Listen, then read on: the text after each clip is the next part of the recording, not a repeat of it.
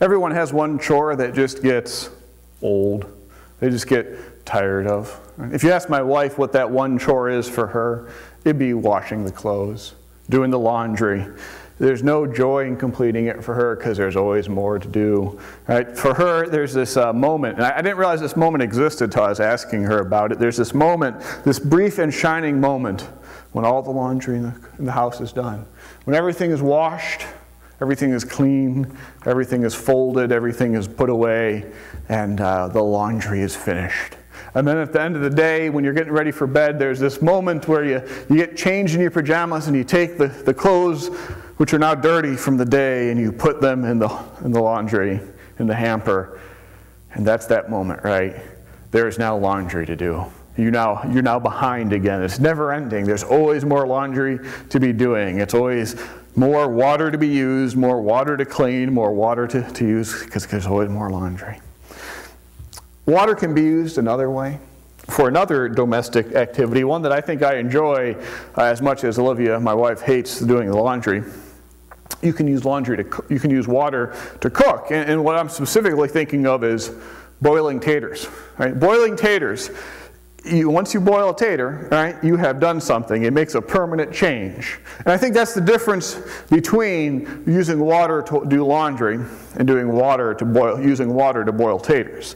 When you wash clothes, you're always going to have to wash them again. You're always going to have to use more water again and again and again. But once you've boiled that tater, that's it. That permanent change. It's never going to go back. It will never be what it once was. It's a permanent change. I believe that baptism is more like boiling a tater. Uh, it's a permanent change. You don't have to go back and get washed again and again and again. Once you're baptized, that's it. Tater's cooked. Permanent change. I find myself thinking about this the way the nature that water is used to make a permanent change as I was thinking about the nature of baptism, I was thinking about uh, this moment in Scripture when a permanent change occurs. You see, there's this moment in Scripture when the Hebrews become the Jews. There's a moment there. And if you follow along, the moment involves water. Let's back up and let's, let's, if you go back to the beginning uh, of uh, the story of the Hebrew people, the ethnicity known as the Hebrews, it starts with Abraham, who is traveling west and he has a family. And Abraham has Isaac, Isaac has Jacob, and Jacob has a whole passel of kids. He's got 12 sons, and each one of those sons have a lot more sons and a lot more children as well. And so you go from a family, now you are 12 sons, now you have tribes. And when you get to the point where you have tribes, you're getting big enough that you are a people. In Greek, the term is ethnos, a people, which is where we get the term ethnicity. And uh, this Hebrew ethnicity is, is the people who go to Egypt and they're under the protection of Joseph during the famine. And uh, they are then enslaved once a Pharaoh rises up who does not remember Joseph. And then the, the um, Moses comes and frees the Hebrew people. And he is freeing an ethnic group, he is freeing the Hebrews. And then uh, Moses leads them across the desert, and they get to the edge of the promised land, and, and Moses dies.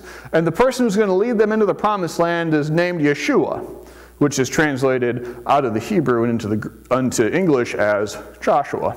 And Joshua takes the people to the edge of the promised land and says, This is it. We're going to go into the promised land. This is a decision you're making. As for me and my house, we will serve the Lord. That's where that phrase comes from, this moment when Joshua is going to lead the people. He's going to lead them through the river Jordan. And he leads them through the river Jordan, and every individual he, person of the Hebrew ethnicity, they have to decide, am I going to walk through this, this river, this river Jordan? And as they individually decide, they show up on the other side of the river, and that's it. They're Jews.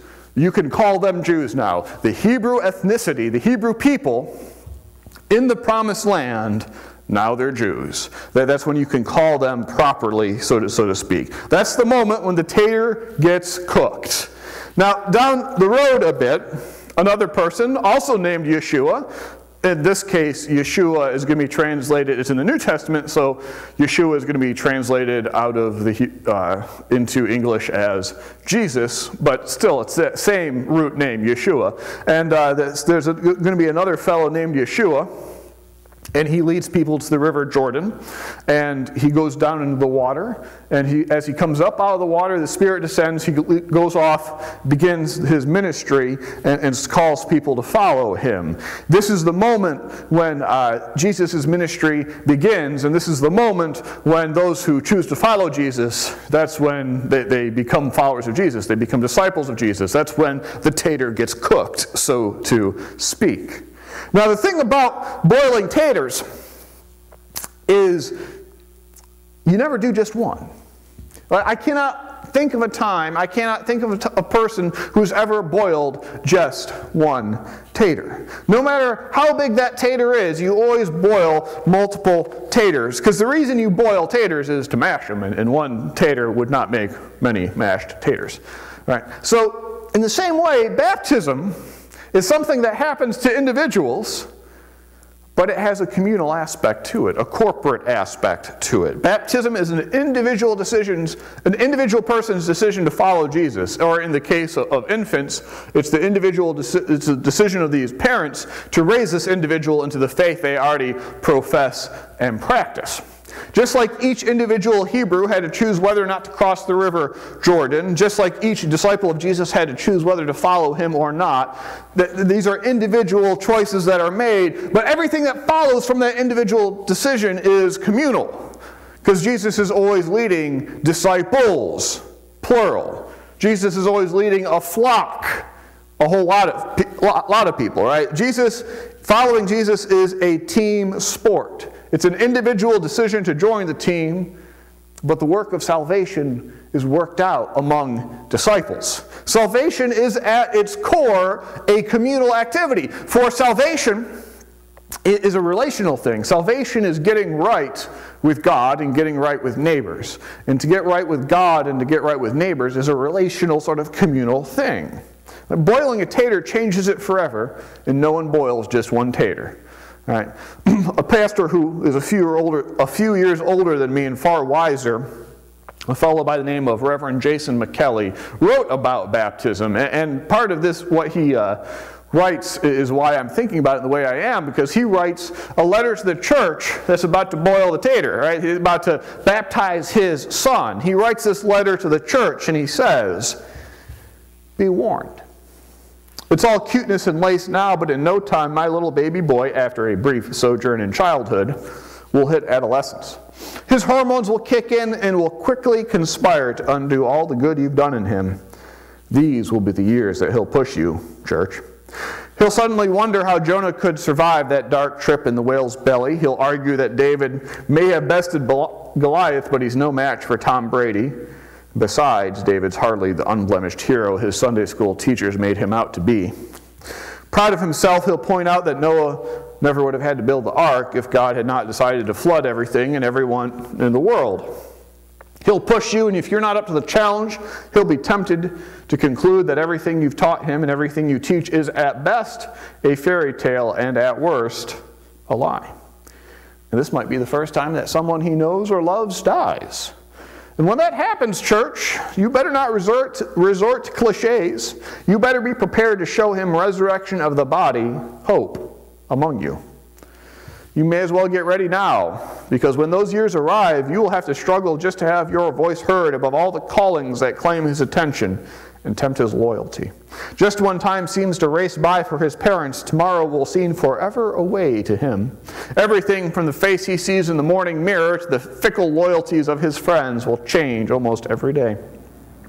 And whether he knows it or not, church, what he will need from you all is a community of constancy he will need a people who will refuse to let go of him, who refuse to let go of what they know to be true and enduring, who refuse to let him slip away before he, before he learns to describe his world with the language you speak. And he'll never admit it to you, church, but what he'll need in those years is a place where he need not wear a mask, a place where vulnerability isn't a dirty word, a place where a life of mercy and love and gratitude is a viable and even compelling narrative.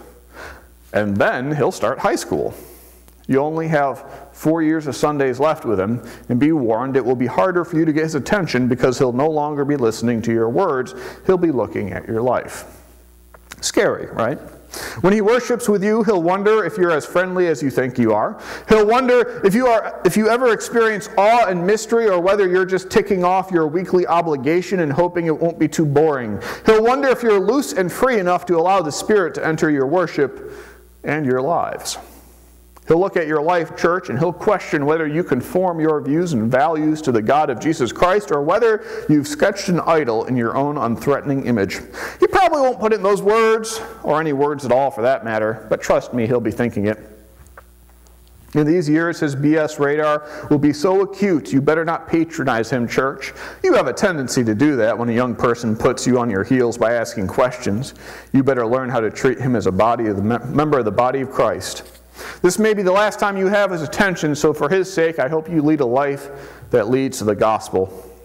And I pray that just when he's being pressured and pursued to get ahead, to pursue his future, to achieve success and grab after his dreams, by then you will have taught him that the servanthood, that servanthood is the only path that leads to treasure. A place where he'll find the Lamb of God in your flesh. A place where he'll discover the coming kingdom previewed in your lives. A place where he'll learn that God is to be found among the lame and the poor and the outcast. Not because you tell him, but because you, church, invite him to come and see for himself. There'll come a time, there always does, when my boy will look desperately for where the living God can be found. When that time does come, church, I hope he will find a community who won't just shrug their shoulders, who won't refer him to the pastor, who won't quote the Bible at him or try to prove anything to him. Don't you dare do that to him, church. Instead, you better be able, because of the integrity of your life, to say to him, Come and see. Church, that's the sort of church I would want to give my life to, so I'm willing to bet he'd give his life to it too. In closing, church, before the water hits my baby's head, I hope the irony will have hit you upside yours. My boy will never be able to live out his baptism if you, church, don't live out yours. Sincerely, a concerned parent. Reading that letter got me thinking further about the nature of baptism. Right? Not just that no one boils just one tater, right? But also the fact that um, we are all connected to children somehow. But we don't tend to get involved with children on behalf of the church speaking about and sharing our faith. And I thought about this, and uh, I'm not surprised. It's not part of how our culture uh, shapes us. It's not part of our, our church practice for the last generations. But I mean, I look back across my childhood, and I had mentors in scouting, great scoutmasters. I had people to look up to in band, band parents, uh, leaders in band. but there was no one from the church that I talked to about my faith, ever. There was no other, no parents in the church, no leaders in the church with whom I talked about my faith. It really just never happened. Right? And so I ask you to think about what children are you connected to? What children are you connected to that don't drive yet? Right? You are, somehow. Children, grandchildren, nieces, nephews, grandnieces, grandnephews, cousins, neighbors, kids. Everyone is connected to children somehow, somewhere, whether it's on a daily basis or whether it's only once or twice a year at the holidays. Everyone is connected to multiple children somewhere. And that child is not going to become a disciple of Jesus Christ by accident. That child needs you to live out your baptism so that they can understand theirs. And I'm guessing that since you are here this morning, that you are staking your life to some degree on Jesus. That following him, you find peace and joy and purpose in this life and hope for the life to come. That at a fundamental level, you believe what we say here as truth as a capital T. You are here because your tater's been boiled. And we need to help those who are younger understand what that means. Practice their faith on an individual level right? Pray. Do you pray with the children who are in your life, whether it's learning the Lord's Prayer to pray before you have a meal whenever the grandkids come to your house, or if they're older, would it look like writing the Thanksgiving prayer before the Thanksgiving meal, sitting down with all the kids and saying, okay, what do we want to give thanks for this year and to whom do we give thanks? Read. Whenever children are in your houses, can part of your practice be? After dinner it's time to read a story out of the bible because i can't wait to read this with you. If they're younger they'll be excited to read a story with their, their someone they look up to. And if they're older you can tell them the truth. I love this story and I want to share it with you, or I don't understand this story and let's figure out why it matters. It's going to be one of those two, and older children will enjoy the honesty of it, the ability to uh, just ask questions and, and struggle together. Go out and serve together. Go out to a food pantry, and if, they're, if children are young, they'll be happy just to run around in circles and, and carry bags of noodles. And if they're older, they'll begin to ask those questions. Why do we see the same people here every month? And you can sit down and try to find answers. Maybe you find them, maybe you don't, right? But if children are younger, they just want to spend time with you, and if they're older, they want to spend find someone with whom they can be real, with whom they can be authentic, with whom they can be honest. All right, you tell the story of David to a young person, they're in awe of how cool David is. You tell the story of David to someone who's older, you can talk about how can David be the beloved king when that whole Bathsheba thing went down. What's that mean? right? Don't try to reduce it to morals and truths. Just, just grapple with stories together. Another pastor, uh, Rich Fine is the fellow's name, reminded me something important about working with children. Whatever you do matters, right? If you think it matters, show it, and then they will follow along as well. It's the best thing you're doing that day, and you're just excited to share it with them. Now, I would not be surprised if what I'm describing makes you nervous. It makes me nervous as well. What I'm describing is not the practice of how I was raised, and I'm asking you to do what I'm trying to do myself change the course of how my family raises children. Right? And that's a challenge. It is a challenge. It does not come naturally. I have my own hang ups about this as well. Right? This is not how I was raised, but it's important. So it's time to do it. It's time to do what need be done, right? And I wish I could wiggle out of this. I wish I could join with so many in the church who say, you know, we'll just let the people in the church do this with our children because, you know, we have some people here in this church that are great with children. They're wonderful with children. And they can only be with the children once a week, if that. And what children need if they're going to understand what it means for that tater to get cooked, is they need more interaction with just than just once a week, if that. Whenever you, you are with the children that you love so dearly, that's an opportunity to connect with them and to walk and to share your faith with them in a way that matters. Right? Experiment, try something, take a swing at it. It is a need. And often I invite us to try something, I suggest things, but, but I can't do that today. This is not a suggestion, this is a need. We need to do this. Children do not become disciples of Jesus by accident. And if they do not become disciples, well, this is not just a matter of whether they'll grow up to be good citizens. This is a matter of salvation. And so, what are you going to do? That's the question I want to leave you with today. What are you going to do? I'm reading a biography of uh, FDR right now. And FDR's theory uh, of how to make a difference boiled down to try something and then if it doesn't work, try something else. But for whatever you do, try something. That's how, when, when asked what he was doing, that's how he explained it. You try something. If it works, great. If it doesn't work, try something else. But just try something. Just take a swing, figure out something you can start, and if it works with the children that you are honored and blessed to have a connection with, great. And if it just doesn't work, try something else. Change the course of your family. Change the course of how your family treats and raises children. Practice your faith together. Don't leave it to chance. You have this amazing opportunity to be part of uh, boiling some taters, right? Be part of it.